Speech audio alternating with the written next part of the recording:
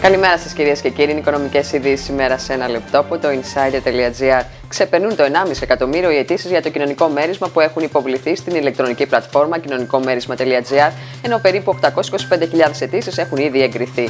Όσοι υποβάλλουν αιτήσεις έως σήμερα τα μεσάνυχτα, αναμένεται να λάβουν το κοινωνικό μέρισμα στους τραπεζικούς τους λογαριασμούς στις 14 Δεκεμβρίου, ενώ για όσες αιτήσεις εγκριθούν από την Τετάρτη 12 Δεκεμβρίου έως και τις 21 Δεκεμβρίου, οπότε και λίγη προθεσμία υποβολής, το κοινωνικό μέρισμα θα καταβληθεί στους λογαριασμούς των δικαιούχων την Παρασκευή 28 Δεκεμβρίου.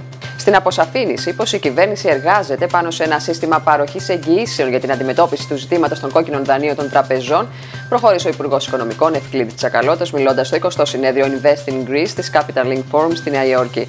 Ο ίδιος επισήμανε πως δεν προκρίνει την πρόταση της Τράπεζας Ελλάδος για την μείωση των κόκκινων δανείων που προβλέπει την ταυτόχρονη μεταφορά σε εταιρεία ειδικού σκοπού κόκκινων δανείων ύψους 40 δισεκατομμυρίων ευρώ και αναβαλόμενου φόρου 7,5 δισεκατομμυρίων ευρώ, ο οποίος σήμερα συνυπολογίζεται στο μετοχικό κεφάλαιο των τραπεζών. Στην Ολομέλεια της Βουλής συζητείται και ψηφίζεται σήμερα Τρίτη η κατάργηση των διατάξεων περί μείωσης των συντάξεων.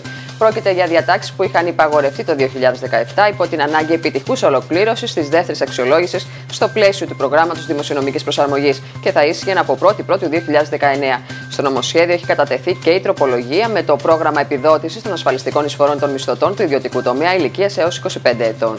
Ανωδικά κινείται η χρηματιστηριακή αγορά στο σημερινό άνοιγμα της συνεδρίασης με τον γενικό δείκτη τιμών να κυμαίνει σε 642,17 μονάδες, καταγράφοντας κέρδη 0,62% σε άνοδο και τα ευρωπαϊκά χρηματιστήρια. Για περισσότερες ειδήσεις στο insider.gr.